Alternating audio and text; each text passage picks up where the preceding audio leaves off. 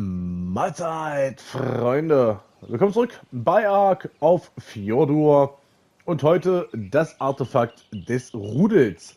So, ich befinde mich relativ zentral oben auf der Map an so einem See. Da hinten ist der Redwood.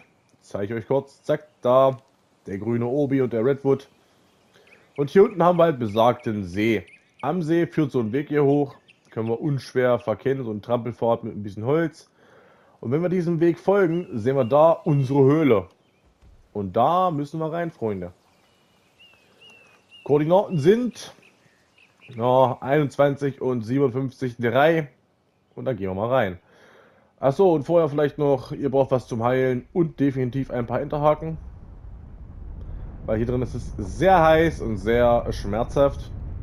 Also entweder macht er halt fliegenden Höhlen an oder ihr müsst sehr gut springen können, weil hier seht ihr schon, man muss hier halt wirklich von Stein zu Stein springen, um nicht in die Lava zu fallen. Und das wäre natürlich echt tragisch.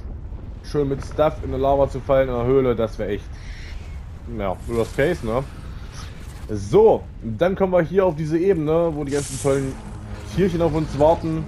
Und dann müssen wir mit dem Enterhaken einmal hier rüber, Freunde.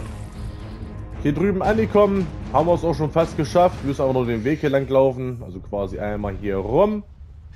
Dann hier drüber. Und da vorne sehen wir es auch schon.